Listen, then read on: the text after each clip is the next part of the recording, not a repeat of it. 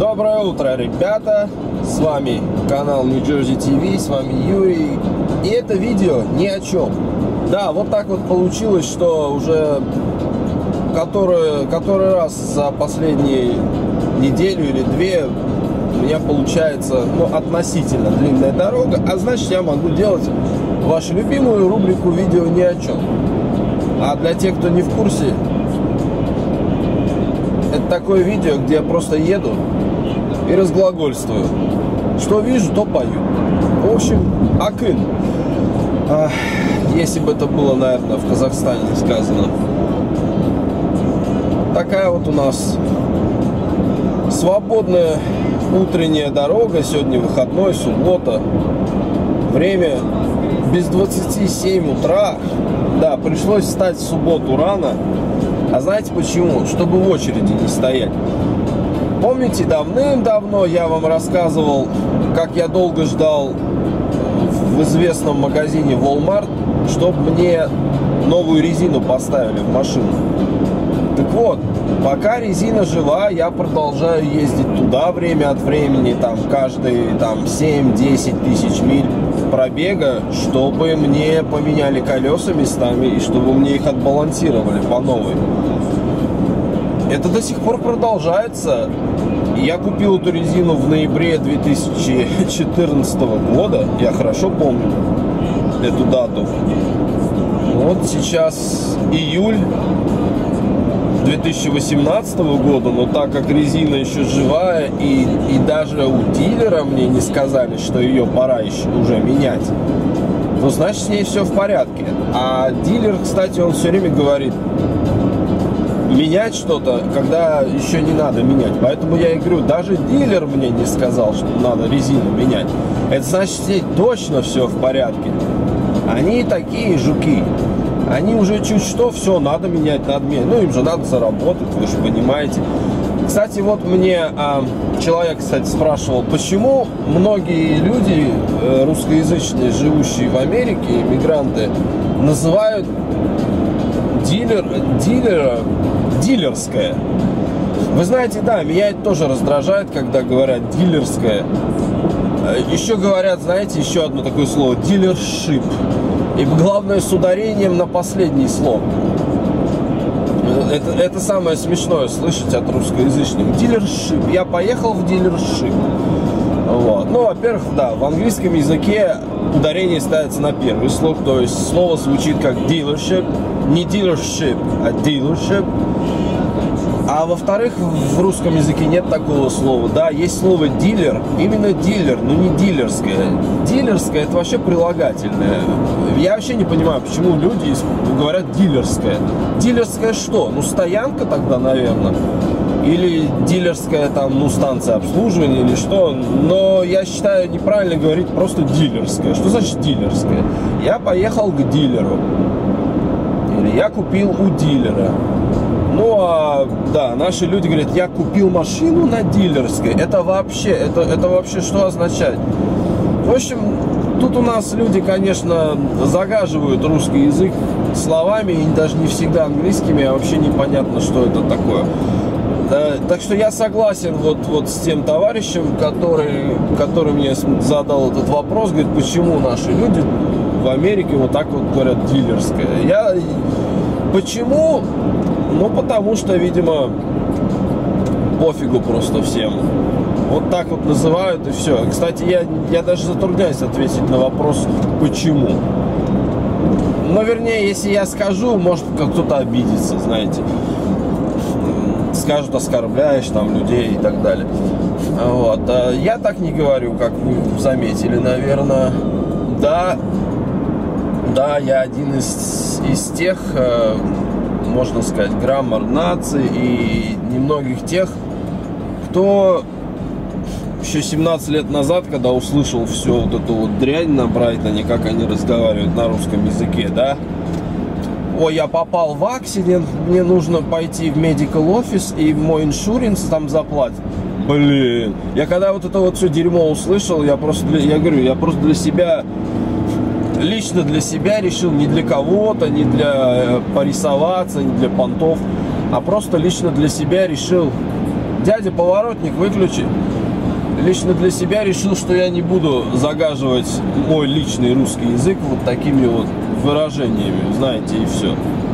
Э, я вам, я вам говорил об этом, да, то есть английский язык отдельно, русский язык отдельно.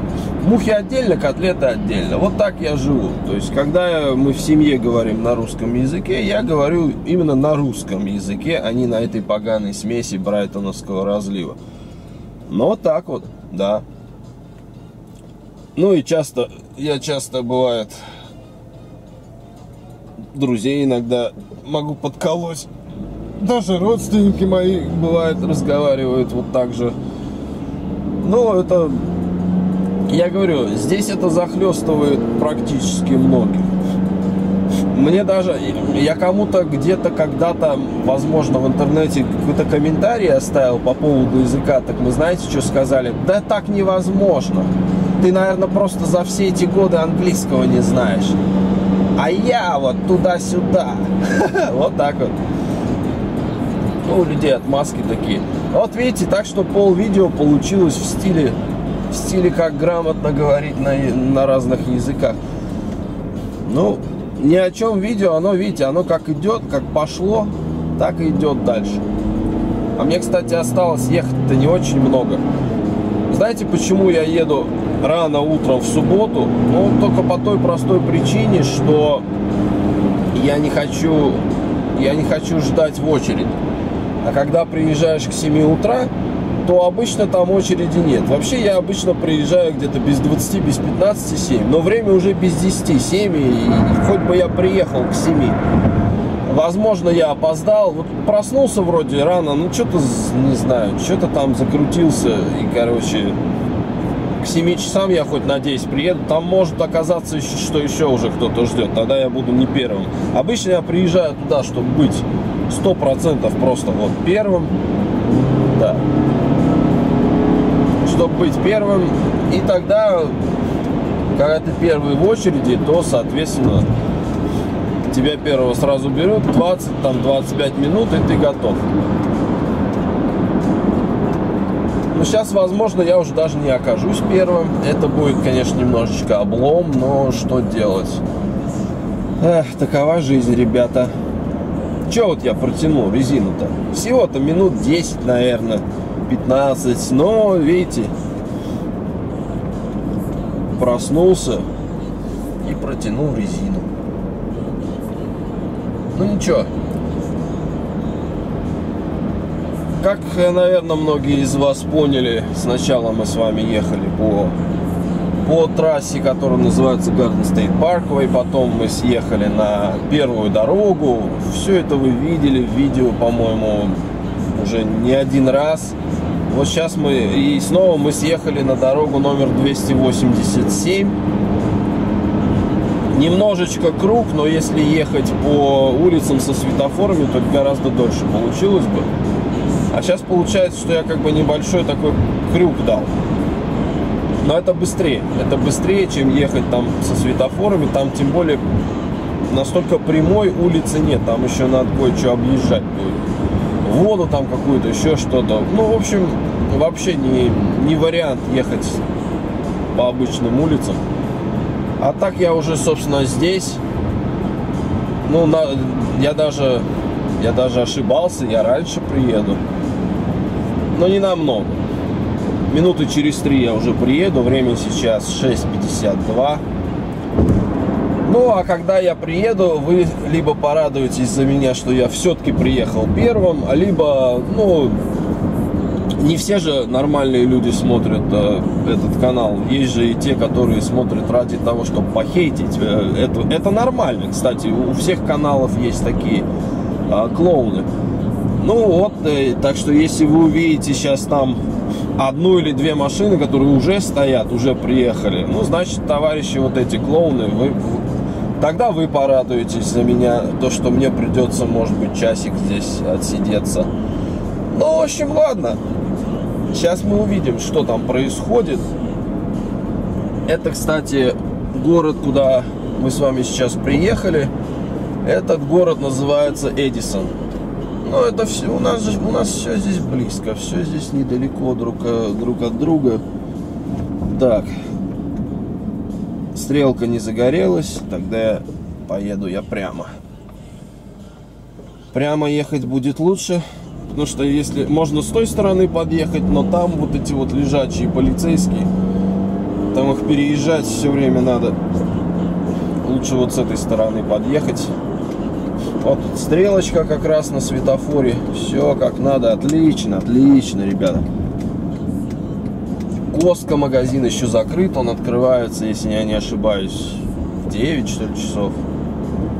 Ну, а мы с вами едем прямо.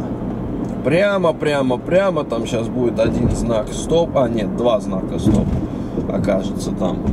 Вот он, да, любимый магазин, блин, Walmart. Вон, видите, автоцентр написано. Вот нам как раз туда. В автоцентр. Ну что ж, посмотрим, какая у меня на сегодня судьба. Ой, они уже открыты. Ну, ни одной машины нет. Отлично. Отлично, ребята. Значит, я успел. Ни одной машины нет. И я встаю ну что, я встаю в очередь, и мы...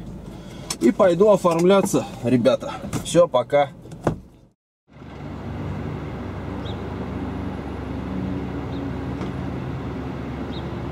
Процесс пошел. Сейчас все будет сделано.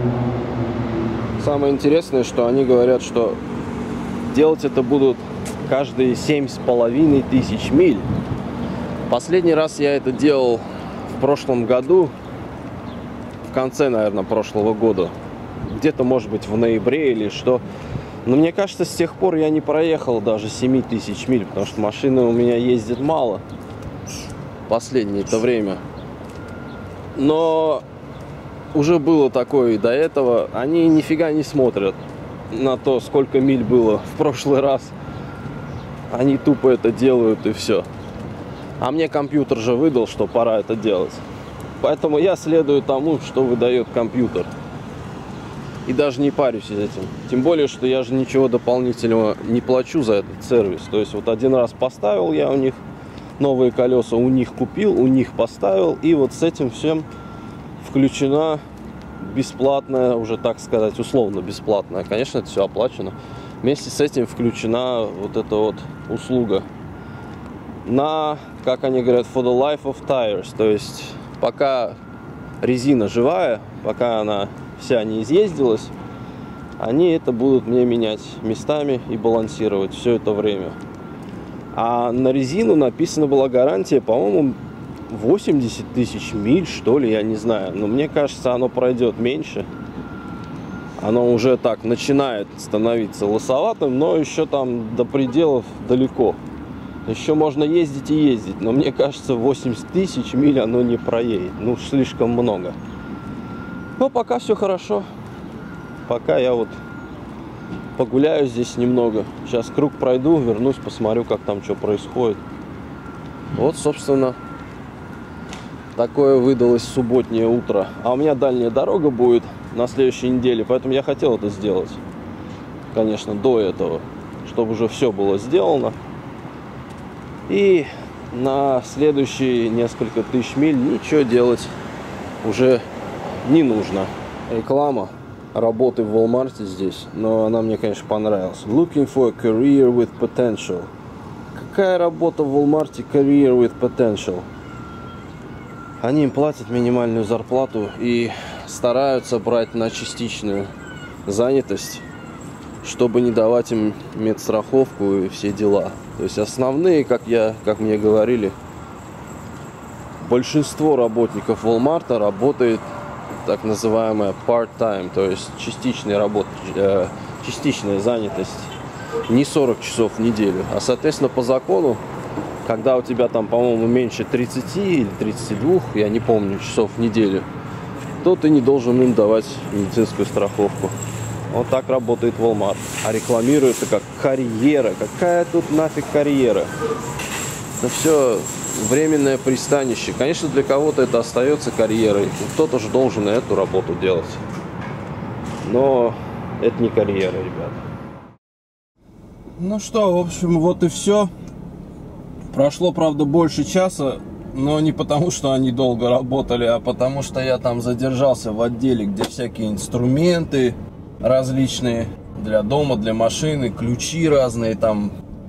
В общем, все такое. Я когда попадаю в подобный отдел, ну, ключи, дрели, ну, в общем, вы понимаете, да, я когда попадаю в такой отдел, я, бывает, зависаю там, и все думаю, может, мне вот это надо, хотя, с другой стороны, вроде уже инструменты у меня есть, ну, поэтому я так смотрю, смотрю на них, какие-нибудь там классные ящички для инструментов, но вроде все это у меня есть, и поэтому, собственно, ничего я и не купил.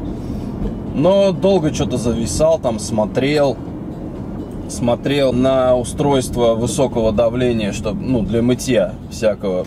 Хотя я уже взял себе один, взял бензиновый.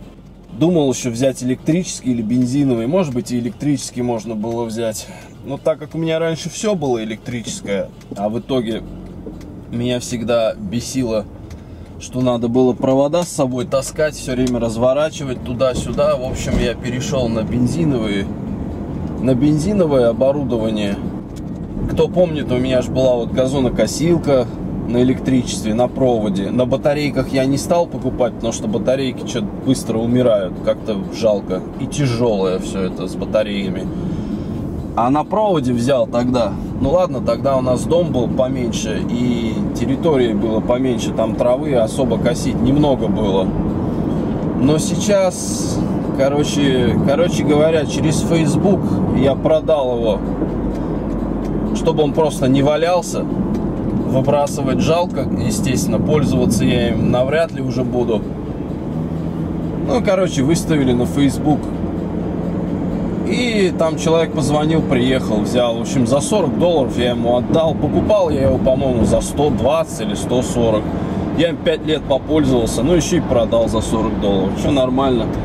Так хоть не выбросил, так хоть, ну, ну какая-то наличка за него выручена была. Тоже неплохо, я считаю. Лучше, чем просто выставить на улицу. Кто-то его заберет. В общем, продал. Так что теперь газонокосилка у меня, как у всех людей, электрическая, э, бензиновая. Надо только масло там поменять. Уже пора, наверное, давно. В общем, поменял я некоторые вещи. Есть еще кое-что электрическое. Наверное, тоже поменяю на бензиновое, потому что тоже уже задолбался с проводами ходить. Причем надо же еще провода эти туда-сюда дергать, убирать, потому что, чтобы не порезать, собственно, тот же провод, по которому приходит электричество. В это все оборудование. Это я сейчас э, говорю о тоже о тоже косить траву, но такое по углам такая есть вот штука специальная. Честно говоря, я не знаю, как она называется на русском языке вообще. А вообще, вообще-то я даже забыл, как она на английском называется. Что-то типа grass trimmer, что-то такое. В общем, там, где по углам, там, где газонокосилка не заедет, где-то вот в углах, вот такая штука. Она у меня до сих пор на проводе еще давно, когда я брал. Вот тоже думаю, наверное, бензиновую взять, потому что, ну, реально надоело с этими проводами таскаться. Я смотрел, смотрел там на них. Пока не взял, но вообще-то, наверное, надо взять. Потому что тоже надоело. От проводов, короче, избавляться надо. Опять же, есть, есть электрические, которые с батарейкой, с аккумуляторами но забудешь убрать куда-то внутрь дома на зиму, и этот аккумулятор сдохнет. Потому что на морозе, на морозе они не живут. Оставил на зиму, и все. Вот у меня, кстати, есть электрический генератор, кто помнит. Там же есть тоже аккумулятор стоит, так как у него есть стартер электрический. Но, понимаете, стоял он в кладовке, а кладовка на улице, она неотапливаемая. Ну, в общем, после второй зимы, первую оно еще выдержало, но после второй зимы аккумулятор полностью сдох. Я его пытался заряжать, он нифига не заряжается. Короче говоря, если мне нужен генератор, я сейчас тупо завожу его с толчка. Ну, вернее, не с толчка. Не, не с толчка, а дергаю, дергаю, короче, веревочку за ручку, и он заводится. То есть этот генератор, он и со стартером, и вручную его можно заводить. Ну, в общем, вручную я его завожу, если надо. Пока за более уже 5 лет электрический генератор мне не пригодился по назначению, то есть электричество в доме ни разу не отключали, в плохую погоду оно не вырубалось.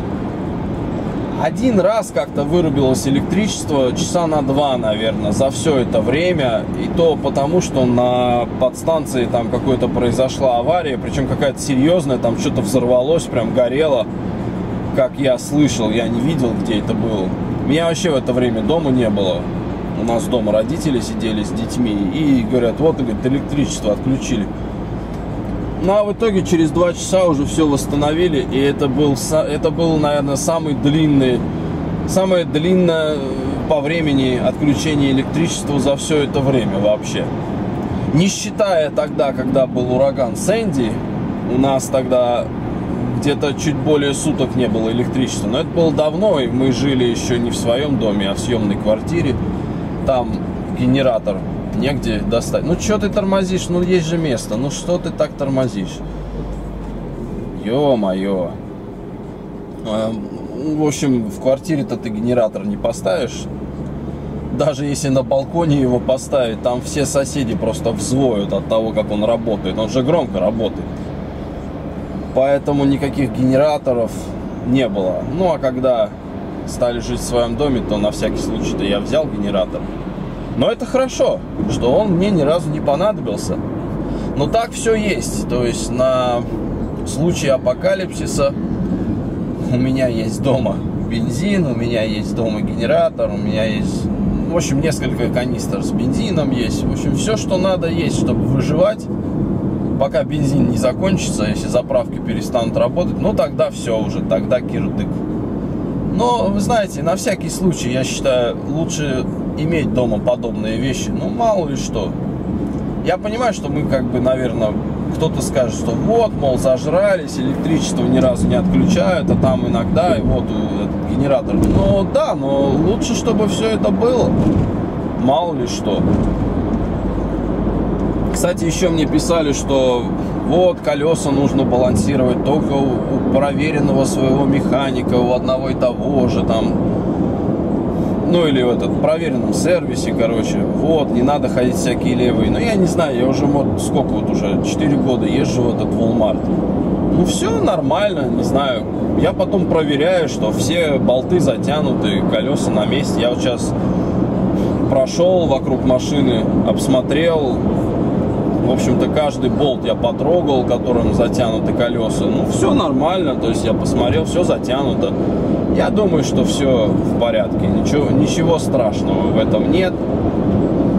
Вот, это опять же... Да ладно, не будем об этом. Он поезд едет, электричка в сторону, в сторону Нью-Йорка. Выходной, не выходной, но электрички-то все равно ездят. Просто у них расписание выходных. Они по упрощенному расписанию ездят, конечно, в выходные. Не так часто, как в будние дни. В будние дни они здесь шныряют просто одна за другой, одна за другой.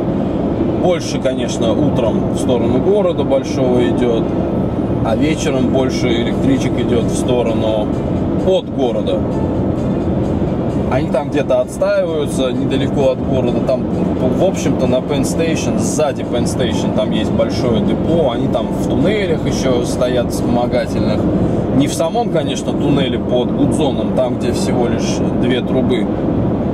Он, кстати, этот туннель, ему уже более 100 лет, он работает, ну, по-моему, на 100% у него загруженность, потому что там вечно с утра собираются пробки из поездов. Они все время там, бывает, часто останавливаются и ждут, ну, потому что просто не могут выдержать эти туннели наплыва такого огромного движения. Они, конечно, были рассчитаны на гораздо меньшую частоту движения поездов. Но, ребят, времена поменялись, прошло сто лет, эти два туннеля до сих пор работают. Существует план или даже несколько планов по постройке еще параллельных туннелей, еще путей. Но пока все эти планы, что-то начиналось, потом, так как это все дорого, это все прикрывали. Но, в общем, пока это все остается в проектах и ничего конкретного пока нигде никто не строит. Вот такие вот дела, господа. Ну ладно, мое утро заканчивается и наши выходные только начинаются. Так что впереди выходные. Никаких видосов, конечно, не будет, так как выходные у нас всегда загружены с семьей, с детьми. Сейчас поедем куда-нибудь. В общем, ребята, всего вам доброго, хорошего настроения.